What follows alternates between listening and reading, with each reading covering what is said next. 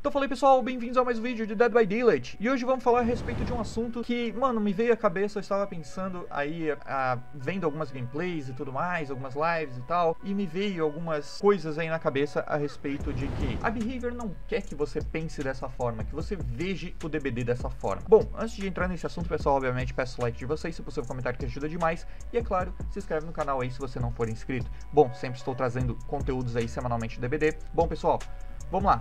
Uma das coisas que eu tenho pensado é que a Behavior, ela sempre preza mais pelos sobreviventes. Isso é um fato. Sobreviventes são a grande maioria no Dead by Daylight. A gente tem, claro, mano, se a gente for comparar, para cada match a gente tem que ter basicamente quatro sobreviventes, correto? E um killer apenas. Então, levando isso em consideração, obviamente, o lado sobrevivente é muito maior do que o lado killer. É claro que a gente tem que ter muito mais gente jogando sobrevivente para que possa acontecer uma partida em si. Se a gente tiver menos pessoas jogando sobreviventes, vão ter mais filas demoradas e, obviamente, menos partidas acontecendo simultaneamente, correto? Então, pensando por esse lado, obviamente a, a Behavior não quer que um dos lados se torne, vamos dizer assim, algo tão balanceado ou talvez tão forte. É por isso que ela foca mais nos sobreviventes. É por isso que normalmente quando vem skin, vem mais skin para sobrevivente. Quando vem skin, quando vem ah, um buff normalmente, um kit base, uma coisa, vem mais pro lado sobrevivente.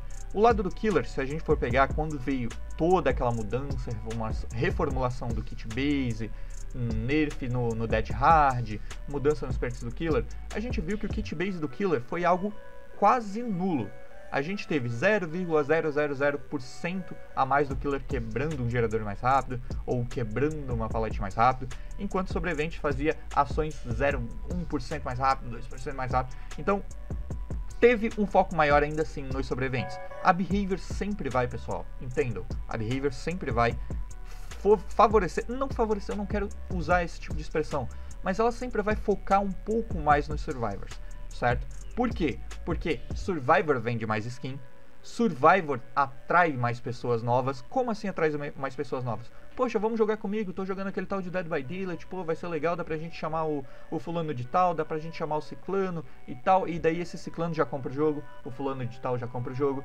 Pô, já são mais três pessoas que a Behavior ganhou porque uma pessoa está jogando de sobrevivente, né? E obviamente só joga de sobrevivente, quer jogar com amigos, e isso, obviamente, o SWF traz mais dinheiro para Behavior. E óbvio, quanto mais sobreviventes, mais venda de skins, mais jogadores jogando e tudo mais. Então o foco sempre vai ser um pouco mais no lado de sobreviventes. Sempre foi desde 2016. Atualmente, que ela tem focado um pouco nos killers, né? Que ela tem feito algumas coisas a mais para os killers, como por exemplo, ter dado essa reformulação geral nos perks metas, né? Fazendo que, com que alguns perks bem subjetivos de killer viessem a ser bem utilizados, né? E tenha dado essa leve nerfada, né, nos sobreviventes aí, essa nivelada entre o lado sobrevivente e o lado killer.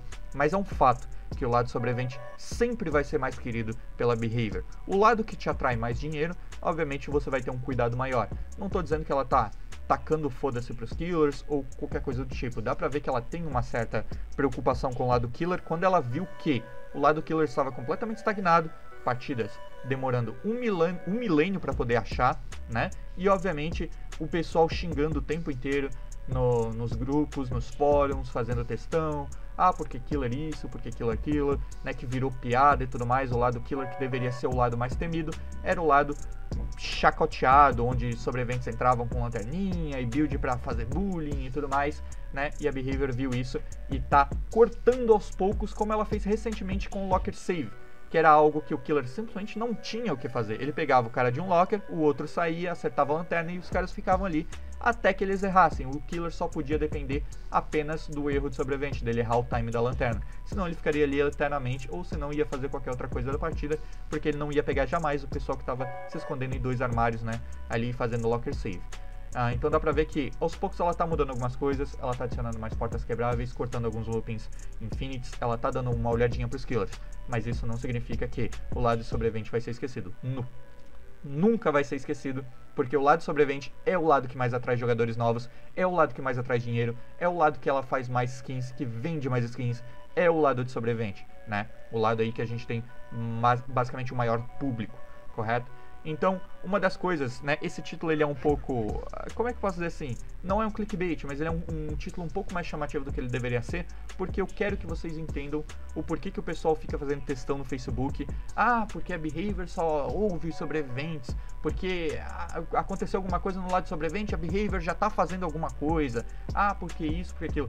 O lado sobrevivente sempre foi o lado que teve muito mais jogadores e que sempre vendeu muito mais sua empresa e que sempre atrai novos jogadores. O lado do killer é sempre importante também, é, principalmente quando ela atrai, ah, quando ela implementa um conteúdo licenciado, como por exemplo Nemesis, o Wesker, o Leatherface, Fred, esses killers aí de filmes trash ou de jogos muito famosos atrai muitos players sim, mas normalmente você jogar do lado de sobrevivente com seus amigos contra esses killers também é muito bacana e isso com certeza atrai muito mais gente. Cara, enfrentei o Nemesis no, no Dead by Daylight, cara, que da hora. Enfrentei o Wesker, mano, vamos jogar, vamos jogar, vamos fechar um, um grupo aqui. Pronto, lá vem mais três pessoas, mais pessoas compram o jogo, mais pessoas compram skin do Resident Evil, mais pessoas compram isso, pá. Vai, joga um pouquinho de Wesker ali, mas acaba voltando pra sobrevivente para jogar com os amigos, que é o lado mais divertido, né, e tudo mais.